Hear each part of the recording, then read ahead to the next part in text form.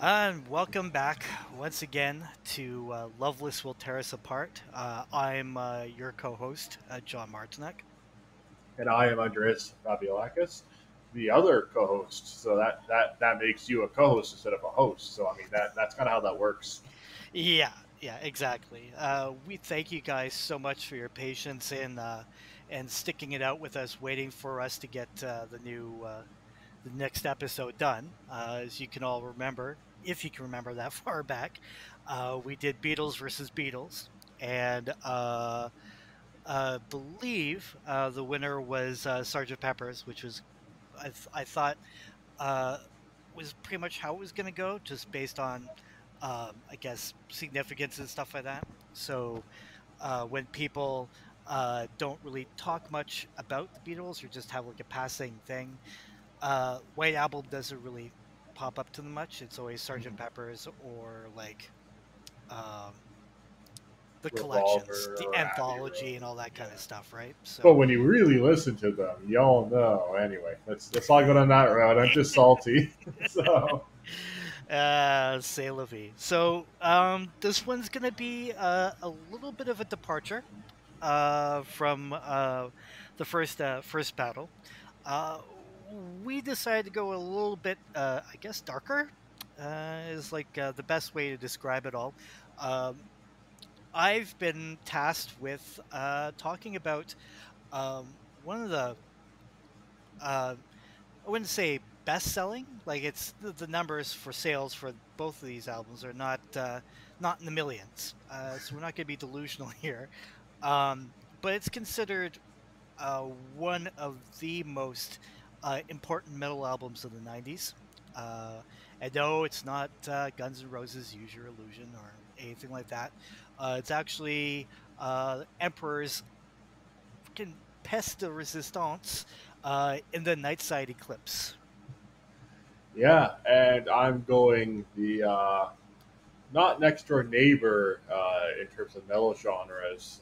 so um, Emperor's known for black metal, and I'm going to go towards the death metal route with um, appropriately named band Death and their iconic 90s album Symbolic. So this is going to be uh, a series of this is going to be a battle between two cacophonous, beautiful albums. Um, you know, you could say that they're both metal albums, but uh, the comparison's a little bit more intricate than that. So if that's what your guess is, you're going to have to be a little bit more precise there's a theme between these two bands and what they achieved on both of these albums. But that's for you to find out. What we're going to discuss is which of these two is worth taking that trophy in terms of the best album of this battle. So, um, first off, this was one that I kind of picked, and I apologize, John. These uh, you know, you, you brought up that you're into some heavier music, but typically when people say that, they might mean Slayer at most, um, Metallica. Some people are into Ministry. Tossing Emperor or Death isn't really everyone's forte. It's not it's not their it's not their cup of tea. But I appreciate this is actually why the episode took so long. John was like like rocking back and forth in, his, in the corner of the room, like, "Oh my god, how am I going to listen to these?" But uh, uh, I, I, appreciate that you uh, you took this one on the chin, um, especially because these are neither of these bands are ones that you listen to. So first off, how was that experience? What was that like? Uh, well, I, I gotta tell you, when I when I uh, I listened to uh, the Emperor album, and I, have listened to it. Uh, I, I, guess less than ten times, uh, just to kind of really a lot. Uh, well, you know, uh, I think they deserve the deserve the, the pennies that they're getting from uh, from Spotify. Yeah. Um, first time I heard it, um, hmm, I was I was really kind of thinking to myself, uh, what the hell did I get myself into?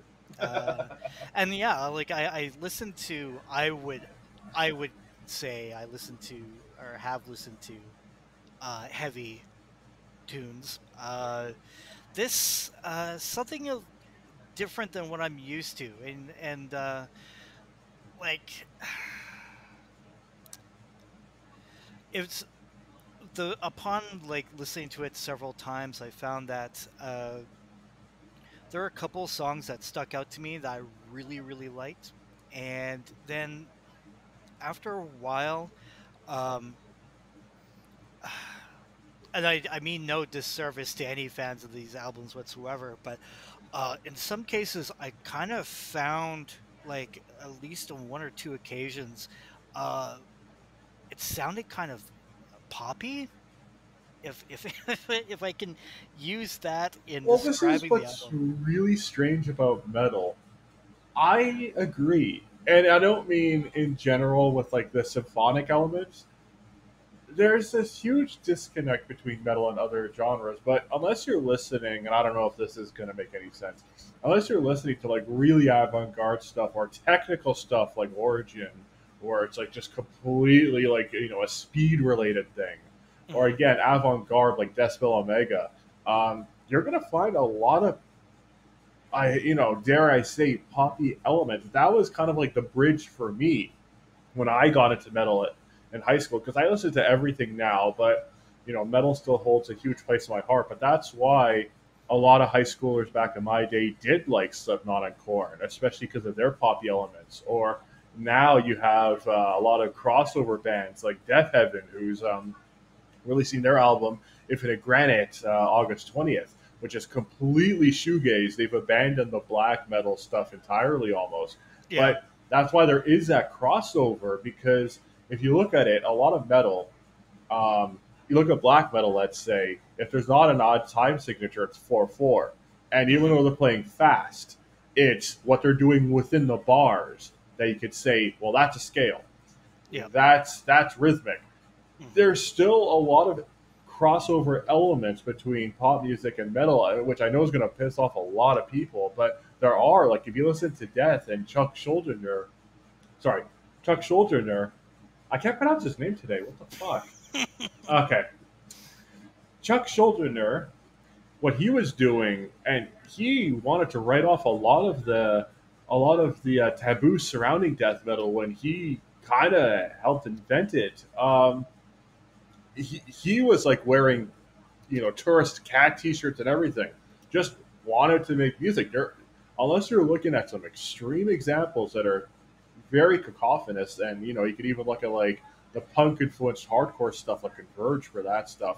Mhm. Most metal has a lot of similarities with pop music, and it's not because it's pop music, but so does rock music, so does rap, so does electronic music. It's Yeah. these overall elements. So I don't think that's such a weird thing to say in general because a lot of conventional music or just human made music over the years are rooted in something. So if you look at a lot of like extreme metal musicians, a lot of them would say, Oh, I loved ACDC or I loved Led Zeppelin, which aren't the heaviest bands on earth. Not now, not anymore. At the time they came out, maybe, but um, you know, and Led Zeppelin's uh, well, they're not influenced by the blues. They basically stole it, but anyway, uh, they basically stole that stuff. And uh, uh, ACDC is very formulaic, not in a bad way, but you know they've they've got their they've got their blueprint. yeah, I'm telling you, there's a lot of crossover which uh, people want to dismiss in metal, but I hate to say it, metalheads, as somebody who listens to everything, there's catchiness in metal, even in the Mhm. extreme stuff. It just it's there. yeah, definitely. And that's I think that's part of it. I think it all comes down to the hook, as far as I'm concerned. Yeah, the hook, the riff, uh, whatever it is, like what separates the synth lead in like a bad romance or something hmm than something that you would find outside of the time signature in a Meshuggah song. It's still that hook, that repetitive hook that keeps you in. And Yeah. even though they're doing different things in different styles, and in this case, different time signatures, it's still the hook. It's the idea that you're meant to be lured in by a hook. So again, unless you're like completely avant-garde or um, jazz-based, um, a lot of metal hmm is hooky. It is, and you know, even stuff like Cannibal Corpse is based on hooks, and Yeah. you know, you can't deny it. Yeah, exactly. And I think, uh, like for myself, when I was going back to what we are talking before about listening to like heavier stuff, like I think for me, uh, when it came to metal, I think like the heaviest thing I was like really digging at that point in time was um, was uh, Sunn. Well, that's Um, that's really heavy though. I was yeah. I was expecting like yeah like Metallica, but Sunn Sunn's some good shit. Oh, it's uh, in, in particular is the the Sunn and uh, Scott Walker album. Oh yes, rest, rest in peace. Yeah, which was just. I mean, I, I loved uh, Scott Walker. Anyways, I know like it's uh, for him was always about experimenting stuff, but Mhm. hearing that album for the first time, I was just like, holy shit! It's like this Titanic experience. so good, and I'm like, I wish they could do more. And unfortunately, you know, I mean, now that he's no longer with us, uh, it's impossible. Uh, but it was just like one of those things where you're going like, well, Scott Walker with Sunn, like, how does that how does that work? And the answer is, it worked perfectly. um, but going back to going back to these albums, the Death album didn't really listen to it. I was so focused on just making sure I had a strong enough argument uh, for Emperor that I didn't really want to like uh, sidetrack myself with any other information, uh, and and maybe accidentally falling in love with your album and then making uh, the uphill climb for me to say this album is the best uh, more difficult. Um, but uh, in, in any case, uh, let's let's get her started. Uh, we'll go alphabetical. Uh, so you get to go first. Just barely. D D like right before E, I guess. so um, okay, so uh, let's give a little bit of history on Death. So Death was the major project of uh, again Chuck Schuldiner, uh, rest in peace. Uh, he passed away. I think it's like twenty. Yeah, wow, it's been twenty years. Uh, twenty years this December. So uh, a, a tragic case. He died at the young age of thirty-four. Uh, he had uh, reoccurring ca- battles with cancer.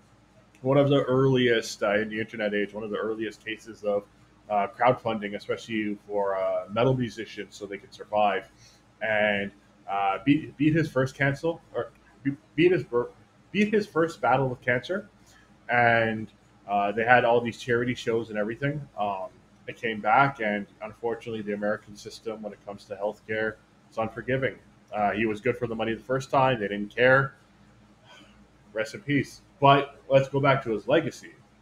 Now, uh, Chuck was both the uh, songwriter, vocalist, and guitarist, and his uh, his guitar playing was like monumental in the in the genre of death metal, uh, especially because he's often he's often been crowned as like the creator of death metal. Hence why it's called death metal because his band's called Death. Now, when they first started, um, they've had like a pretty uh, a pretty varied career in terms of like what their sounds were. So Death started uh, in the late '80s. Uh, their first album was a Scream Bloody Gore, and that was like straight up, you know, talking about like typical death metal death metal topics, like you know, zombie stuff, uh, blood and guts, that sort of stuff. It was very crisp, a nice, uh, just a sub 40 minute duration. Leprosy is not that much different. Spiritual healing, but it's around the time of Human in 1991 that it got a little bit more. Um, a little bit more technical, a little bit more not experimental, but adventurous. Let's say it's not like he veered outside of death metal, but he um, he wanted to explore what they could really do, as opposed to just discussing political things or um, again blood and guts and stuff. So uh, on that album, he teamed up with uh, two brilliant members of of the um, the progressive metal band Cynic. So you know you have uh, Paul Ma- Masvidal on guitars and uh, rest in peace Sean Reinert on drums. Um, and that's that's where it really started. After that, Chuck was all about trying to push the limits of, of death metal. So individual thought patterns came afterwards.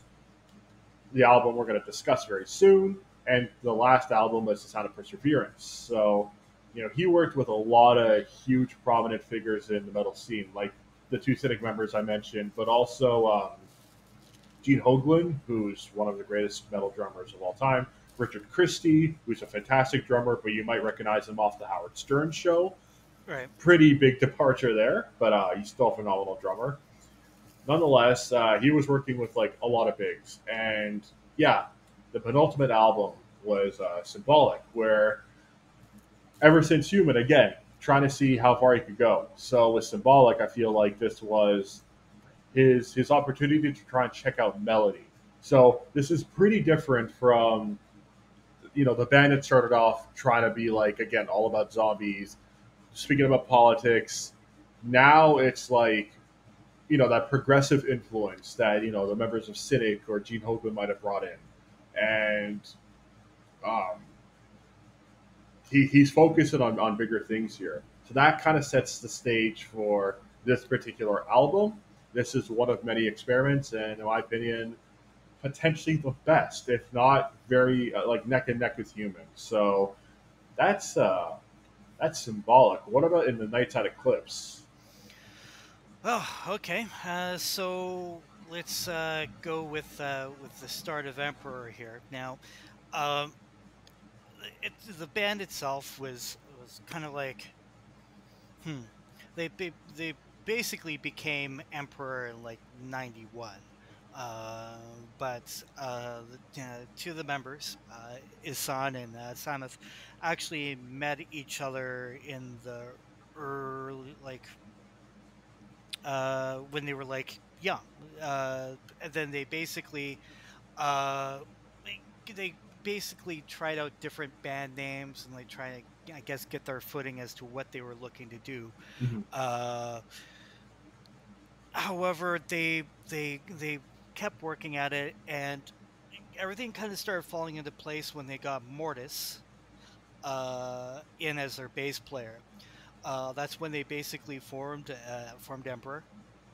Um, they put out a couple of demos, um, and uh, that's about as I guess as light-hearted as it gets because um, if anybody knows anything about Norwegians and metal, black metal, uh, yeah. especially in the early '90s, uh,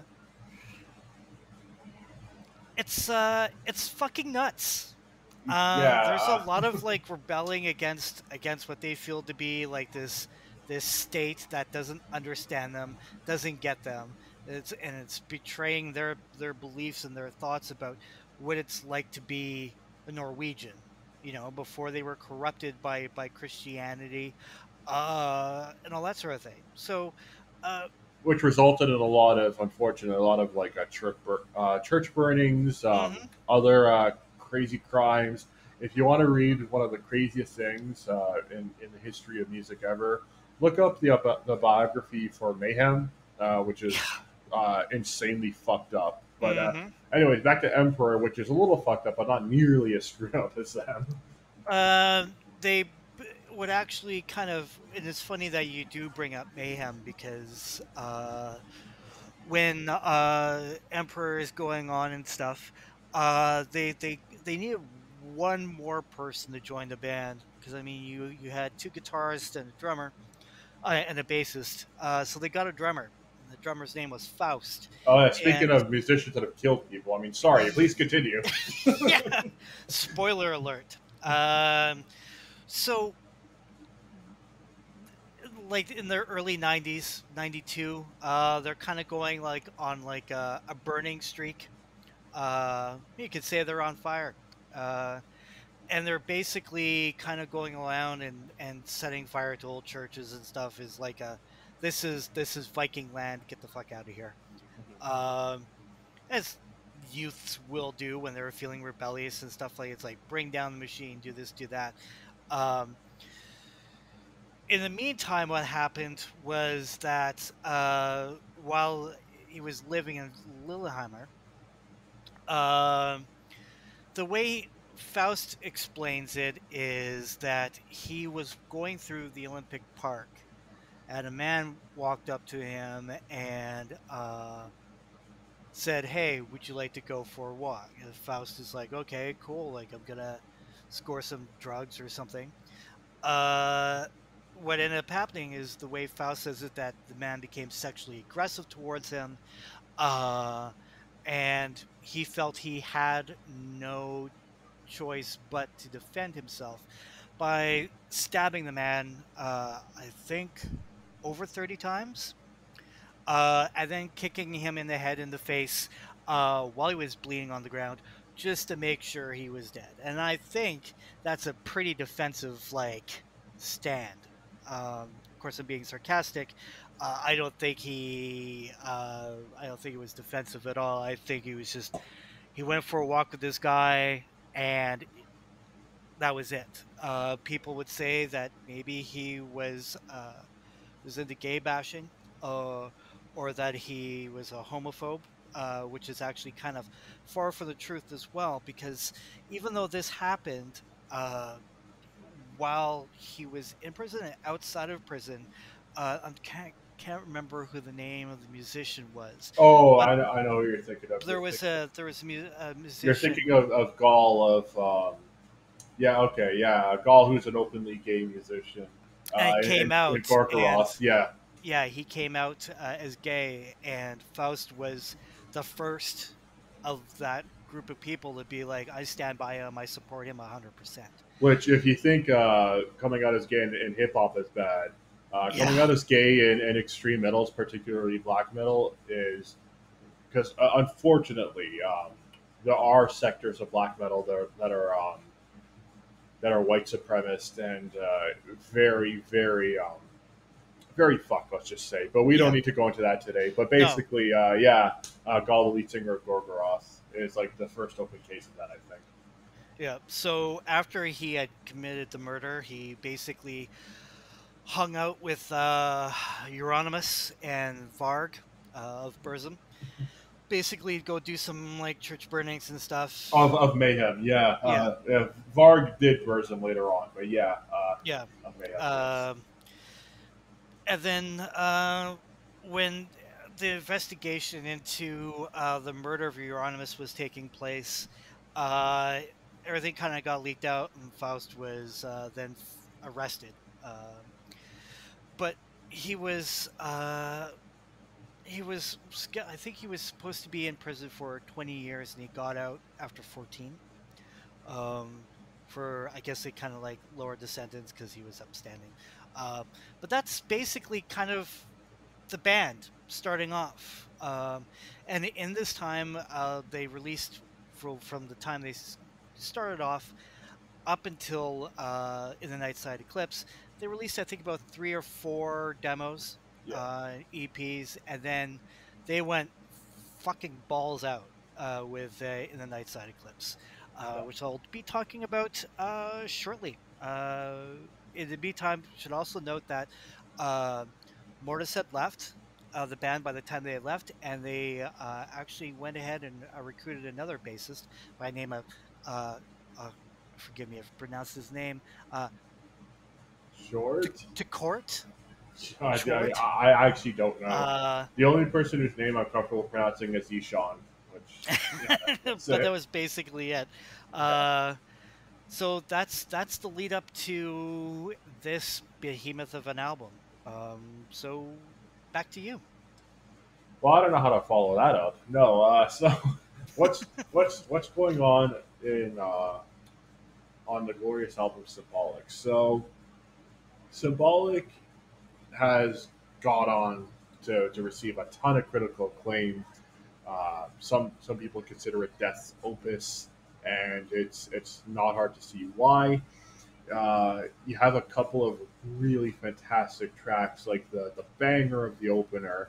Um, Empty Words was like a really like a really coveted song upon release, and even now. But the most um, the most popular song I find is Crystal Mountain, which feels like this this guitar driven journey down this path, uh, you know, up the titular mountain. But otherwise, every single song is clad with hooks. This is what we were talking about earlier hmm clad with hooks, um, incredible melodic guitar leads and soloing by, by Chuck. Again, rest in peace. But a lot of uh, really interesting lyricism on here as well. Not to say that Death wasn't interesting beforehand, but um, here there's all sorts of like fantastic subject matter, some often political or like descriptive and narrative in nature. But um, I feel like what could have been massive for Death was that uh, this particular album was released on Roadrunner, which Roadrunner was on the verge of becoming this massive label that it would eventually become, signing you know Slipknot and Nickelback, but still, Roadrunner in the in the mid '90s was was a home run. So it's it's no secret as to how this could have had such a reach, especially with um, with tracks like Crystal Mountain. So um, it's it's a nice, lean, 50 minute album. Uh, it's not too short. It's also not too long. There's absolutely no filler. But there's a lot of again like melodic aspects, not to drive that point into the ground, but like the way, for instance, Empty Words opens almost like almost ambiently with like this this breathing room after Zero Tolerance, and then it just goes bam right into the song. But each song has like these these movements. They're not like direct. The shortest the, the shortest song you're gonna find here is like four and a half minutes.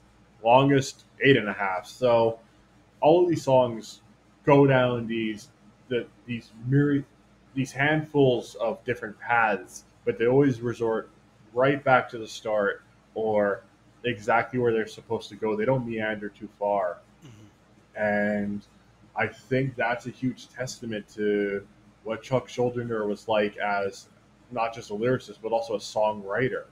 And that's what's really interesting about Death because I feel like a lot of um, a lot of copycat bands or uh, death influenced death metal bands might try to follow the complexity or the uh, the intensity of the genre, but on this type of an album, it's the exploration that makes it really special. Where you feel like you've listened to like ten different songs, but all of them were like amazing in the span of like six minutes. And um, yeah, each each riff isn't a riff. Each riff is a separate song, smushed together into this compilation of of brilliance. And at nine tracks, again, not a single dull moment. So um, again, I, I love symbolic.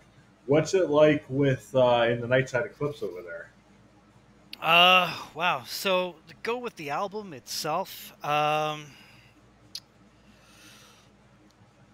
the way they, the way the album has been critically received has been um, uh, loved, really, and it's it's odd to like hear that about something, and I'm going to assume here that a lot of people listening to this haven't really given much uh, thought or have ever really listened to death or black metal uh, at all. Um, the back, thing with with uh, with uh, in the Nightside Eclipse, the thing that people need to understand is that when they're listening to it, they're going like, okay, so it's it's heavy. There's a lot of chorus of singers. There's a lot there's a lot of like symphonic effects to it and everything. That was something that was not even considered to be doable or would be considered to be uh, black metal at all it was the first album to kind of really push that and kind of like meld uh, meld those two things into the music uh, so when we were talking before about how it's easy to kind of like you look and, and say, well, you know, like this could be considered like poppy, or this could be considered this because everybody borrows from everything. Um, the fact that they just they decided that they could do just a straight black metal album, and I think in their minds they probably thought this is this is straight black metal, but the incorporation of of using like strings and just like the opening of, of the album alone like is just so fucking just um for for like reference sake the version i listened to was the remastered version. Mm-hmm. Um, so what they had done with that is that uh, they combined the first two songs which are a intro and into the infinity of thoughts and combined them to into one song, and then they added two other songs on there: uh, a Bathory and a Mercyful Fate cover.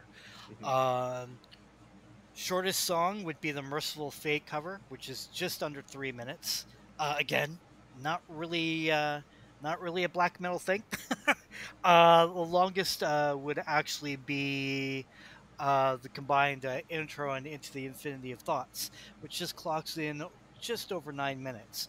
Uh, so if we want to be particular here, um, uh, Eclipse has uh, Eclipse uh, Emperor um, has uh, has the winning edge so far because they have the longer song on the album.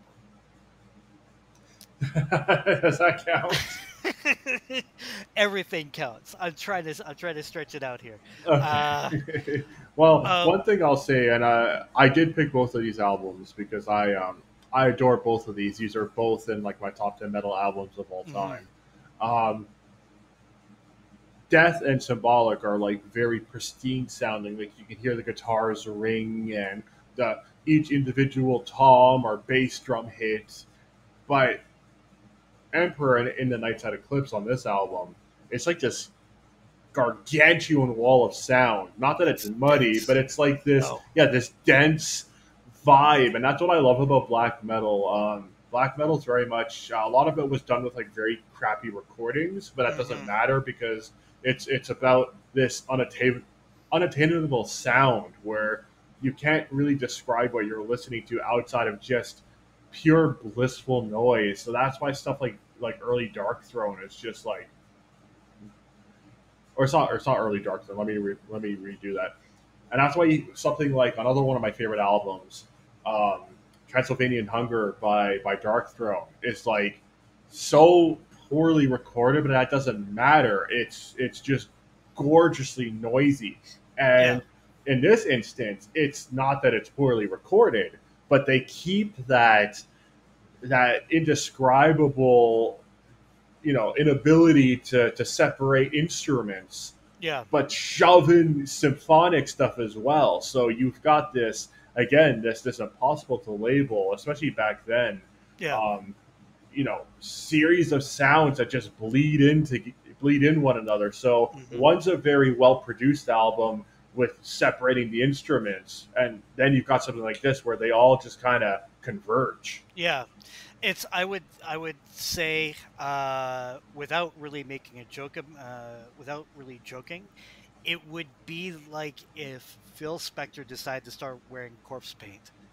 Which, uh, production on this. Not to get too dark, but Phil Spector's also like very fitting considering he killed someone. But anyway, Yeah. uh, but yeah, it, and it's it's just that denseness, and it's you'd be hard pressed to find something that just it's it's not just denseness, but like we're saying, it's like when the, when when this the symphony parts come in, you're going like, what the fuck? Like the fact that they're this young and they're just they just have these ideas and the album itself is influenced by like four different like things in regards to like what they did with their specifically for their lyrics. Uh, obviously vikings uh, which is kind of like a mainstay for for a lot For of bands metal, back then. yeah. thanks to Uh, Bathory, you know, or, or thanks to Bathory, yes. yep. Tolkien? Oh yeah, uh, Dracula and all things relating to Transylvania, and just like dark European folklore. So it's it's not so much the oh the bloody hands of the zombies are coming to get you and stuff, but it's just it's so. And I would say at least on in one occasion, uh, cosmic horror, and it's not something I w- would have expected to get from listening to this album again uh, being the first times i ever listened to it i would have never i would have just assumed it was going to be about ah, la, la, la, la, la. Uh, oh like I, I love Satan, and, and you know, yeah uh, and i mean they, uh, no, they, it's more nuanced. Yeah and they do have like they have uh, it's uh, inno a satana uh, which is italian for hymn to satan which was the original album closer until my like on the the original album.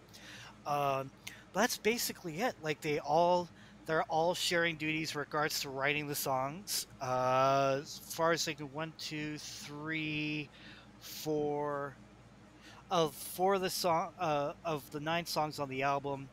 Uh, lyrics for this uh, the songs are written by Samoth. Uh, one, two, three, four of them are written by Is- Ihsahn, and one, two are written by Mortiis. So there's a little bit of overlap there with with who's doing the lyrics, but they're all contributing to this. They're all going. I really I kind of like this. I want to I want I think we can we can bring this into our sound or we can talk about this and communicate that and just like show people like how fucking cool this stuff is. Um, so it's it's just it's just crazy. Um, uh, the album got released in '94. Uh, it was recorded in '93, uh, and uh, well, like I've said before, it's uh, it's uh, the first album to fuse black metal and symphonic elements. Uh, it's considered. I think it's got like a five star rating on uh, on uh, All Music. It's uh, it, a lot of critics praised it because they were just looking at it saying like, look, you know, if you listen to black metal, you know how black metal is supposed to be. This is how it's meant to be This is just pure like they've they've they've really just proven proven uh, that you can work within a maelstrom of like sound and still be able to like hook you in with that and like hearing the music in there and kind of getting wrapped up in it. And like after the first couple times listening to it I, I would lose track of which song i was on and then be like damn it the album's over uh, that's a that's a good sign, I would say, because that yeah. could be a problem. But in this case, for no. me, it's a good problem to have, where you're just like you're taken away. You're not you're not like counting the seconds or t- or keeping track of the of the list. You know? Yeah. Um, so my my impressions of the album are. Um, so uh, again, going based off of the limited like amount of of like black metal that I had listened to, and a lot of the, uh, I mean, this sounds ridiculous, but like my my exposure to like like darker or heavier metal has been like two things. It was one as uh, Metalocalypse, which yeah, their references to stuff like this is, is pretty good, like black or uh, or death metal. Yeah, and the other one is uh, Detroit Metal City, uh, which is a oh. Japanese uh, manga slash anime slash live action movie about a man who uh, moves to the big city because he wants to be a pop star, pop star, and gets sucked into the to the realm of like black metal, and he's forced to sing lead for a band called Detroit Metal City, and uh, it's great because he's he hates himself because he's getting all this popularity. People adore him and everything because he's this character. But uh, the flip side, when he wants to do the music he wants to do, everybody hates it. So he's like stuck. Like he has the success, but he has the success doing something he absolutely hates and scares him. So that's was like what my kind of like intro to all this stuff was. Um, the album, I think when I first heard intro, I was a bit concerned because uh, I wasn't sure what I was going to be listening to or what was going on. Uh, and then uh, Infinity of Thoughts just like fucking goes goes for it right off the bat, and you're like, oh shit, what is Andreas giving me? and then after that, it was just, it was just, it was basically an onslaught of sound. Yeah. Uh, and it's just it, it, to the the infinity of thoughts is is like it's just a firestorm of like new sound. It's just crazy good. Uh, I've I I can tell you that out of the album itself, uh, I have like a favorite on there and and uh, one that I'm not fussy on. So the one I'm not fussy on is actually the the cover of uh, cover of Gypsy. Which we can uh, exclude if you're looking at like the original track list, right? So yeah, uh, I, am going to include in there because I think it's only fair to say like okay. if you're if you're loving the album, uh, you may want to go with you may want to go with the original, and not the remastered. Yeah. If you want to give the remastered a try, go ahead and do so. Gypsy's the last song on the album, uh, and it's it's not that great. Uh, the best song I, I, think on the album is um, cosmic keys to my creations and times. Oh, that's interesting because like the most popular example is "I Am the Black Wizards." Like that's Yeah. like, one of their most popular songs for sure. Mhm. So hearing Cosmic Keys that makes me happy. Yeah, yeah, and uh, I mean, oddly enough, it's uh, one of the two songs written by by Mortiis uh, before he went off to go and get Mortiis launched, his own band. Uh, but it's it's it's I just I just I just love it. It's it's it's really really good. Uh, the whole album, top to bottom, is like I said. Out if you exclude Gypsy, everything on there is like fucking top notch. Uh, it's great. Uh, you might find uh, you might find it a bit difficult to adjust to uh, the constant chorus of voices uh, and this the symphonic elements. But really, when you if you put it up against another black metal album or anything that came out around that time and com- like compare the two, this is in a different different league. It's it's hugely influential to the to the second wave of, of black metal. Uh, and you would think it would be some of the other stuff, but a lot of people just name drop this album and say, like, I wouldn't have gotten into this, or I wouldn't have looked into or tried to experiment with like heavier stuff if it wasn't for this album. Which again, when you, you look at it from like what they did, how they were able to accomplish it with like not having like millions of dollars to like fuck around in the studio and just do it. They knew what they want, the sound they wanted.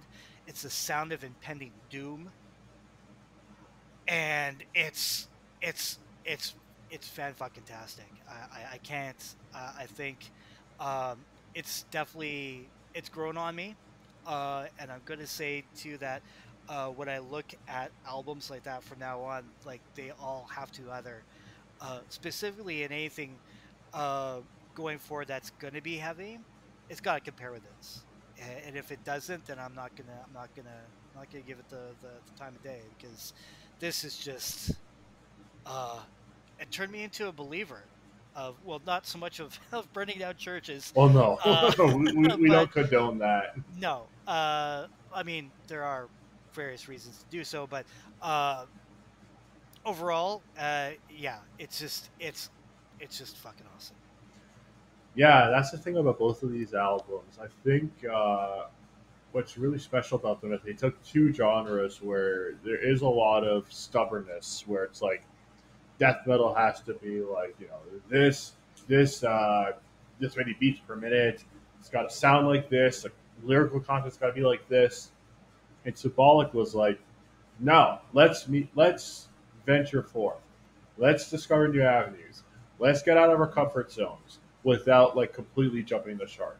Then you have in the Nightside Eclipse where it's like uh, black metal's got to be like recorded like this, uh, completely against the norm.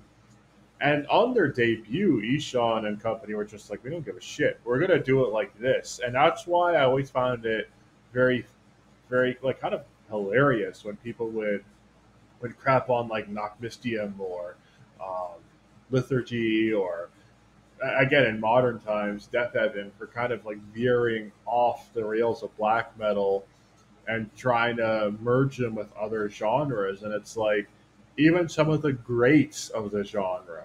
So if you're looking at like Darkthrone or um, or Gorgoroth or Leviathan, hell, even like Leviathan has some like really melodic moments, but like Emperor, who who put out one of the best albums of that genre, hmm yeah, they weren't limiting themselves. Like, if you want like the greatest straightforward black metal album, as it was meant to be heard, you're gonna put on Transylvania Hunger.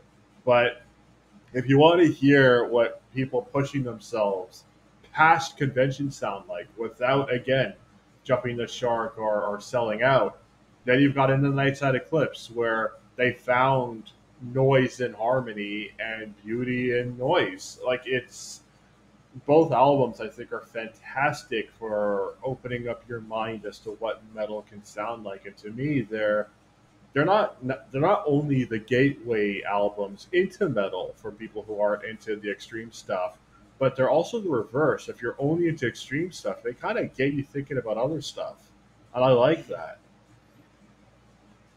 Yeah, exactly. Where do we go from here?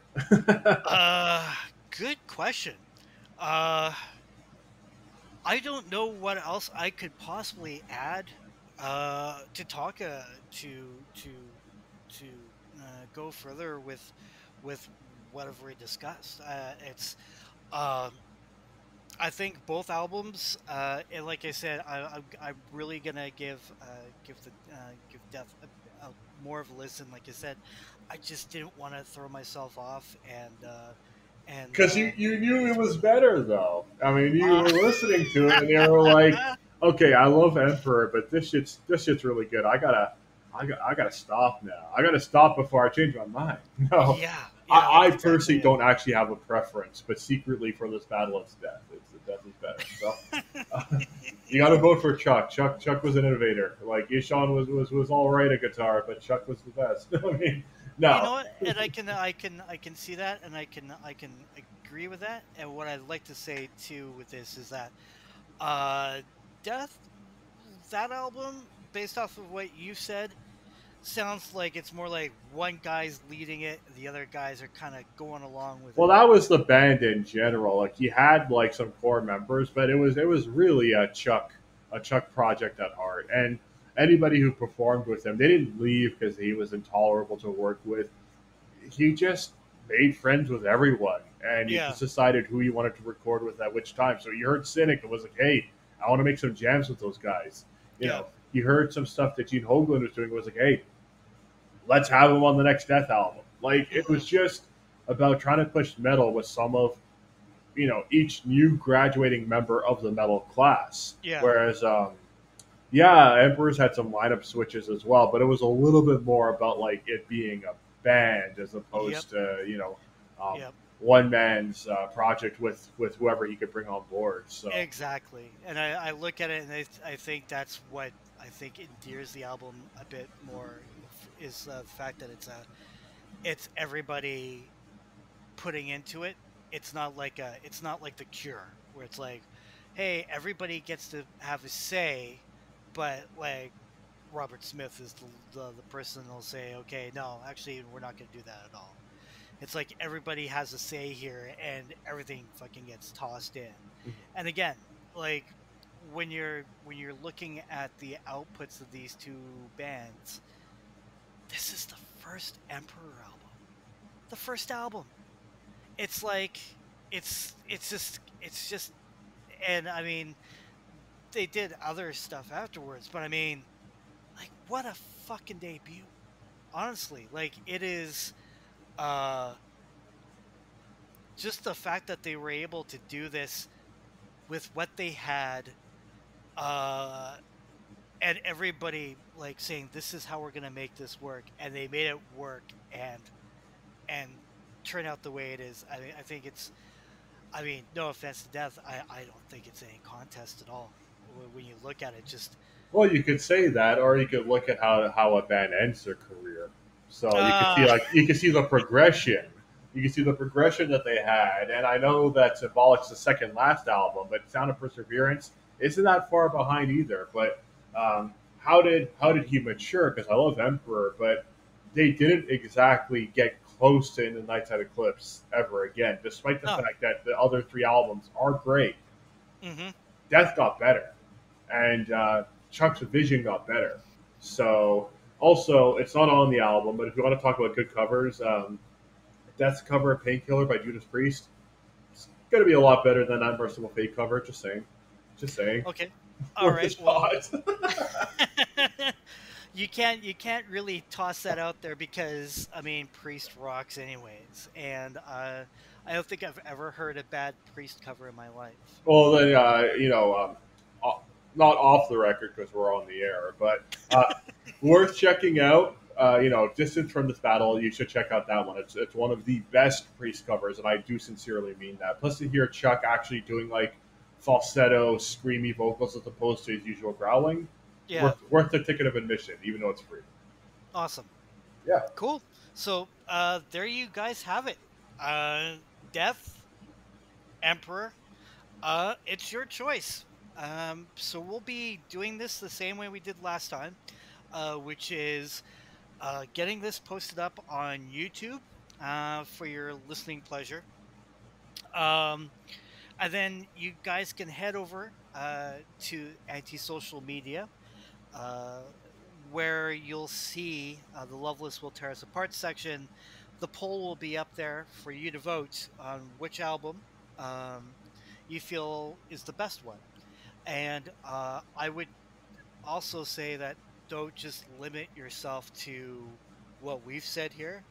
Give give these albums a listen. I think that's something that's always been important for me uh, with with the battles that I've always had. Is that it's one thing to talk about this stuff and say, okay, this is this uh, of my expert listening opinion is this blah blah blah blah blah etc etc uh, is all fine but in the grand scheme of things you the best way to like tell yourself or figure out which one's better listen to them and if you've listened to these albums countless times before and you love them give them another listen.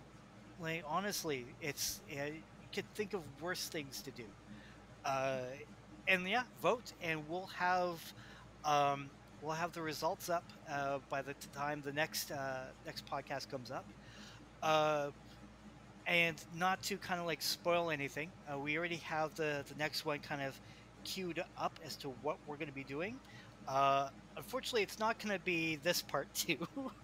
uh, it's going to be something decidedly different, and I think I what I appreciate about this is that uh, we're kind of bouncing all over the place in regards to what we're doing, what's what's going on, and like what's being chosen to be to be debated about. Much I mean, easier albums to listen to. Just, just yeah, gonna let you know.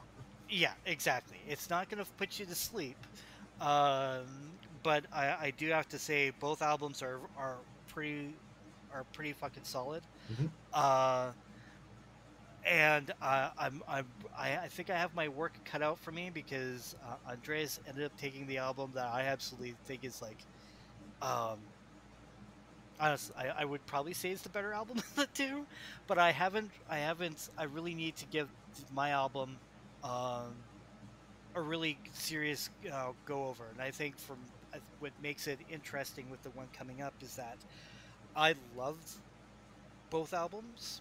Uh, the one of them more so, uh, but the album that I love, a lot of people not liking. Uh, I'm getting, a, I've been hearing a lot of negative feedback online about it. Uh, a lot of people just not digging uh, the sound uh, or what's being try, trying to be accomplished with the album. Uh, I find it uh, I find it really interesting because I think it's really really great. But uh, that's my own personal taste, and I mean, hell, I, I, love Howard Jones. so, so take it for what you will. but it should be awesome. It's going to be awesome because it's music and it's something that we all love um, to various degrees, and it, it should be awesome. So, uh, thank you so much for for tuning in. Uh, was there anything else you wanted to add, Andreas, before we uh, wrap this up? I just want to say that battle is the first one that wasn't decided by uh, by John and myself. So this is uh, one of your recommendations out there. So we're we're listening to stuff that we're unfamiliar with or reassessing stuff that we already know. this is where we get pushed as, as music listeners. So keep those suggestions coming.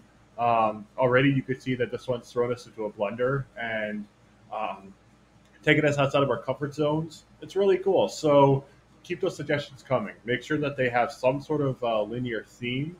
It could be as easy as they're both shoegaze bands, or they had some affinity with John F. Kennedy for like two seconds in, in their intro tracks. Like something just completely out there. Doesn't matter as long as they're linked, we'll do them. So exactly let's do it. Awesome. Well, thanks again, everybody, for listening. Uh, again, this has been Loveless Will Tear Us Apart, and uh, this is John Marchak. And this is Andreas Babiakis. Take care, stay safe, and get vaccinated. Take care.